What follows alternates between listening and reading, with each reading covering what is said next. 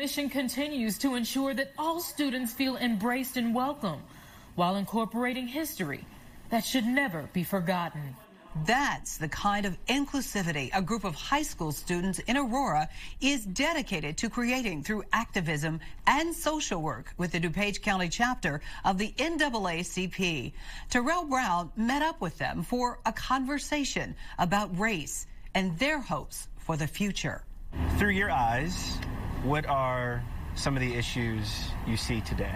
I think it's, it's so difficult to learn, especially like history classes, when you don't see yourself in the classes. We also don't see very much inclusion of black people in the in the curriculum, and when it is shown, it's really only about the slave trade, and there's no real positives you can take out of in the curriculum. Through the course of the day, how often do you guys think about your race? So I think about like who I am and where I come from, and I'm pretty proud of it. For me, race is like an everyday thing. Like it's my identity. It's like who I am, and it's something that I'm really proud of. Just like what Melissa said. Based on everything that has happened over the past year, do you look at race any differently now? I like hate to like always jump on the race, but that's you know it's there. It's always like kind of like the elephant in the room, and I have to think like, is this because of race? Yeah, I mean I can definitely agree. I don't think I see race differently. I think people just see me differently now, because before it was like, oh, I guess she's Mexican, but now they're like, gotta be careful with what I say around her. I want to teach people that like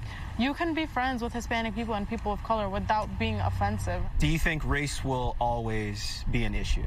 I learned that for a lot of people, it's not that they don't want to learn about other people, is that they don't know how to. Mm-hmm. And so the issue is that all this time before, there's such a huge stigma on the word race because throughout history, it's been a touchy topic because of minority groups being between oppression and just violence and everything that's gone on throughout history and even now because a lot of systems are still in place to disadvantage minorities. I think more people need, are trying to learn how to change these systems because they didn't know they were there. So, leaving it to you guys, how do we fix this?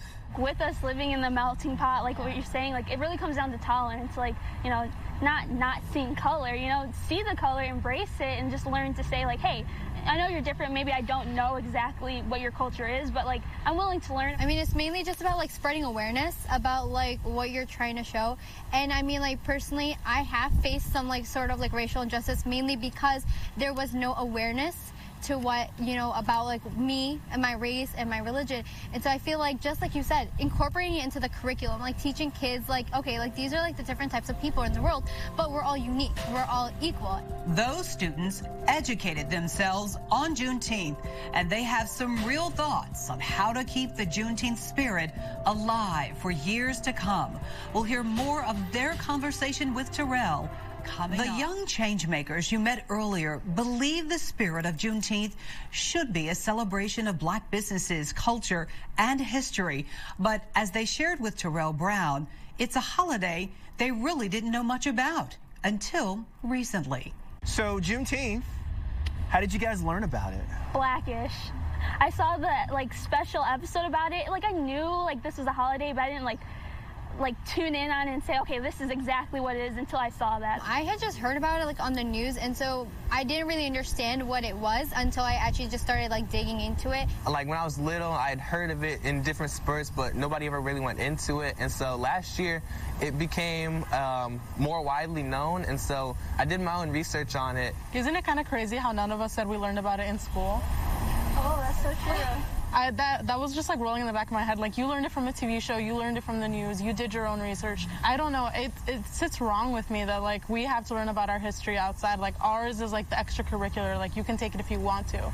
As we celebrate Juneteenth in the future, what do you guys think that looks like? I mean, I don't really know what to do to celebrate it. That's kind yeah. of like the the weird part. I think it'd be like one giant potluck like where people bring like their own food and like speak about like what's going on and just like embracing the differences. I feel like a lot of people are kind of like like tired of hearing about slavery. Like they'll say, like they have the mindset, like I already know slavery happened. You know, transatlantic slave trade, Africans here. You know, it's a thing of the past. But in reality, it still has ramifications to, to, to today. Like generational wealth, African Americans families haven't been able to pass this down to their children. So I see like Juneteenth should be educating the impacts of it. So, like, you know, s- supporting small businesses, supporting African Americans in the now, and really kind of like reversing its effects so we can, everyone can be on the same playing ground. For some reason, I don't know why, all I keep seeing is like a parade. like the Macy's Day, like Thanksgiving parade. Yeah, all I keep seeing. Why not? Yeah, all I keep seeing is just like a parade in like the streets, just like celebrating like heritage and you know, just like families like coming together, just like seeing like you know who they were then and who they are now. I think that the general observation of Juneteenth should probably be supporting black businesses, supporting black people, and just like the day should be supporting everything black. You know, people are making the effort. It's just continuing on. It's not like a trend that just ends once, you know, the internet stops talking about it. And having everyone just come out and support and making sure people know about these events that are going on in their community where they can, you know, show support. There are many ways to